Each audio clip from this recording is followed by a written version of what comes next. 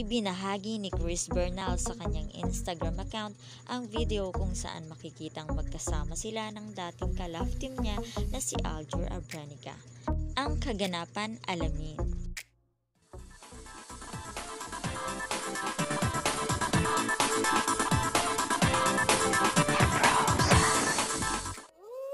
Sa video na ibinahagi ni Chris Bernal ay ipinakita niya kung sino ang kanyang kasama at ito ay walang iba kundi si Aljur Abrenica. Matatandaang ang dalawa ay naging kapwa Starstruck Survivor, si Chris Bernal bilang Ultimate Female Starstruck winner samantalang Ultimate Male Survivor naman si Aljur Abrenica. At dahil nga sa matinding chemistry ng dalawa, hindi nagtagal ay isa sila sa mga naging kahatest kapuso love team na kung saan ay nagpakilig ng maraming fans. Ngunit ano nga ba ang naging tagpo ng kanilang pagkikitang ito at tila marami pa din ang kinikilig sa kanilang dalawa base na rin sa mga komento. Heto panoorin natin ang video na ito.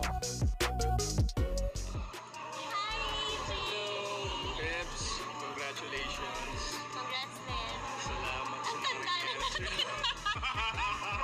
Just na-realize ko. Nice to see you. Happy for you. 2006. uh, happy for you. Looking forward sa wedding mo. Ay, pupunta ka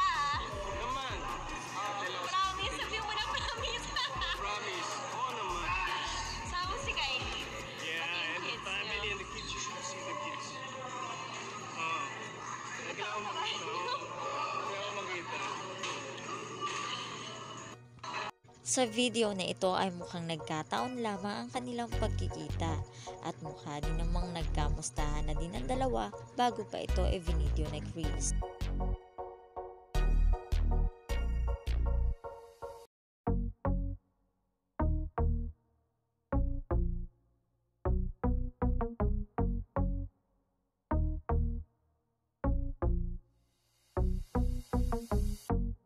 Dito ipinakita nila ang kanilang pagbati sa isa't isa. Kinongratulate ni Chris si Aljur dahil sa pangalawa nitong baby at ng kanyang asawa na si Kylie Padilla. Samantala ay binati din naman ni Aljur si Chris dahil ay engaged na din ito sa kanyang boyfriend na si Perry Choi. Ang engagement pa nga ay naganap sa mismong birthday surprise na inihanda ni Chris sa kanyang boyfriend. Wala siyang kamalay-malay na habang naghahanda pala siya para sa celebration ng ika-36 birthday nito, ito naman ay naghahanda din para sa wedding proposal para sa kanya. Sa huli ay sinabi ni Chris na dapat ay dumalo ito sa kanyang nalalapit na kasal kasama ang pamilya nito. At ito naman ay kaagad na pinaunlakan ng aktor.